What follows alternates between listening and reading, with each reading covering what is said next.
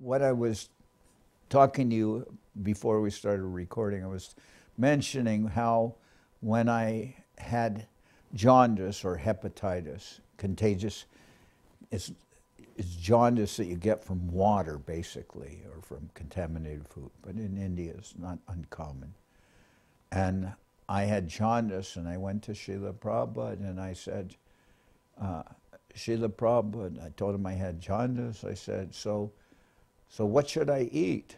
And Srila Prabhupada said, only, only take Krishna Prasadam. And I was just, oh, okay, Srila Prabhupada, fine, but what shouldn't I eat?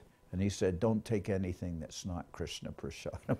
I just thought, that was like classic Prabhupada, kind of the way he, you know, he could just answer in the most simple way. And, but he, what, what was there in that answer is Prabhupada's amazing wit, his extremely, I mean, dry sense of humor, but very, very deep humor.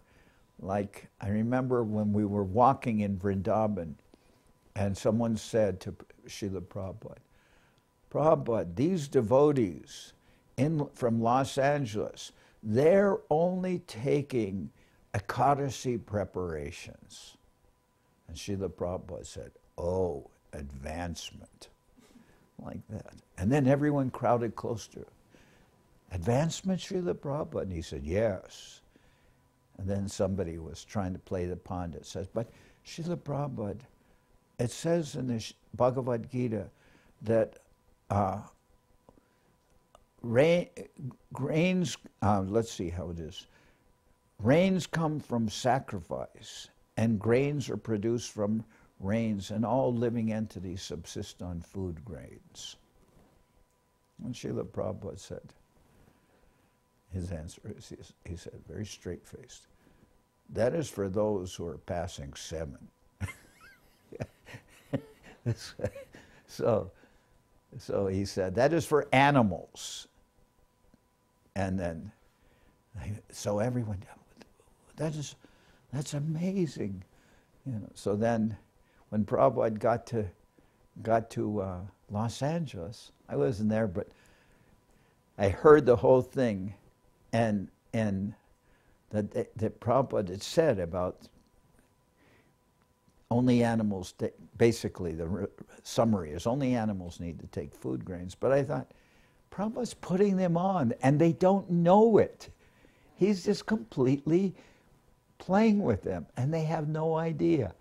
And then, then he went to Los Angeles and then they said, Srila Prabhupada, these persons, they only take Ekadasi preparations. It was the same, same references that happened in Vrindavan on the walk. And then Srila Prabhupada said, oh, why is that? And they said, and then they were shocked and they said, but Srila Prabhupada, they say that only animals need to take food grains. And he said, I take food grains. Do I look like an animal? so, but I was so I I was so positive when when I heard this incident, and I knew I knew something of Srila Prabhupada. I think Prabhupada's playing with them. He's putting them on and in, in just in a very straight, you know, way of speaking. They have no idea that he's joking with them. And I saw that. Um, I saw Prabhupada's humor on many occasions, and, and, and it's not like it's not like a rowdy kind of humor. It's a very philosophical and, and you know, almost like he could say this and uh, just very, very wonderful sense of humor.